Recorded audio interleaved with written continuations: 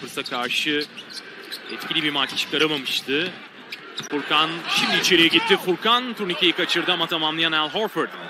Maggie ve Anthony Davis'in olduğu yerde Jim Jackson da e, kariyerini Lakers'ta e, bitirmişti. Milton.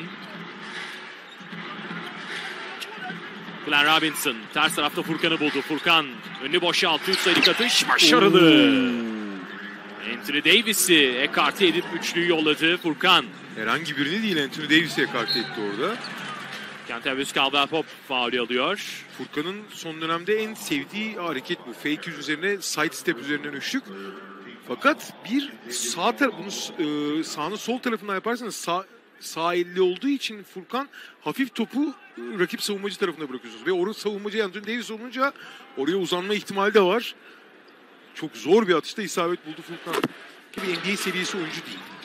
Ota altına pas. Norm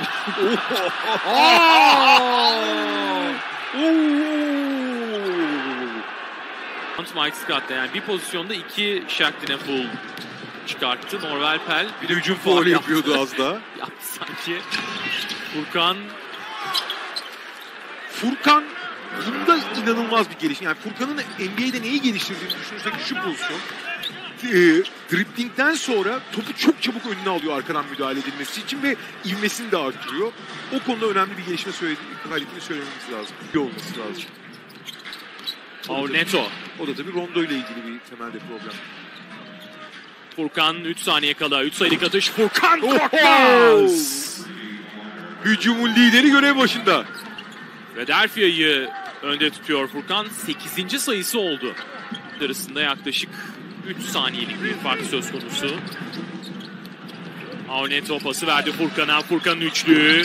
Başarılı değil. Hücum reboundu ve basket Glenn Robinson'dan. Şimdi tüm sahaya geçen bir pas Furkan araya girdi. Top kimde kalacak Avneto'da. Bir şans daha Philadelphia için. Neto 3 sayılık atış. Başarılı. Müthiş bir maç sonu sekansı Philadelphia adına. 35-28 hiç memnun edici. Gerek yok yani. LeBron James çok zor bir atıştı kaçtı. Reboundu Furkan aldı Philadelphia'da. Furkan 8 sayı, 1 rebound, 1 top çalmayla oynuyor şu ana kadar. Furkan devam etti pas dışarıya. Alec Burks. İkinci periyodun başında oyunda o da. Arneto. İlk periyotta 2-3'lük isabeti vardı Mike Scott'ın. içeriye doğru yöneldi. Şimdi Furkan 11. sayısı olmadı. Bu da Philadelphia, takımın eksik rotasyonunda takıma 2 eklemeyi Golden State Furkan içeriye gidemedi. Horford 3 oyuncu etrafında Furkan'ı buldu. Furkan Korkmaz. Çok zor bir atış. isabetli değil. Rebound Bradley'de. klasik fake'ini yemedi LeBron. Kentavius Caldwell-Pop. Atış kaçırdı. Rebound Furkan'da. Hızlı çıkabilir Philadelphia. Furkan pası verdi. Riskli bir pas. Bradley'de olunca pozisyonun içinde daha da ihtimal düşüyor. Topu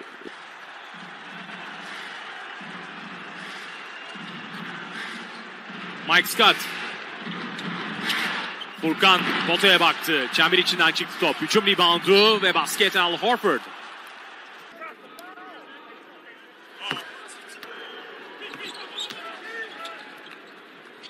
...93-76'ya getirdi skoru Alec Burks.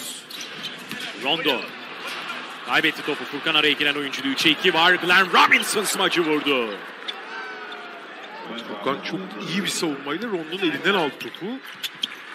Yine ikili sıkışma geldi. Bir kez daha kaybedecekti topu Lakers. Ee, uygun fark nedir? Oynamaya devam etmeliyiz. Yani kritik bölümlerde 3 sayılık isabetler buldular ve maçtan hiçbir şekilde tamamen düşmemiş oldular böylelikle. Ee, biz devam etmeliyiz. Yani oynamadığımız sürece kapatmaya çalışıyor. Araya girdi Shake Milton. Milwaukee maçından sonra e, Clippers, Brooklyn gibi takımlarla oynayacaklar.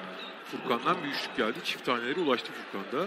Ee, ama Lakers yemi ve rakipleri düşündüğümüzde e, burada güzel maçlar olacaktır uzun bir süre. Staples Center'da 6 maçlık bir periyot.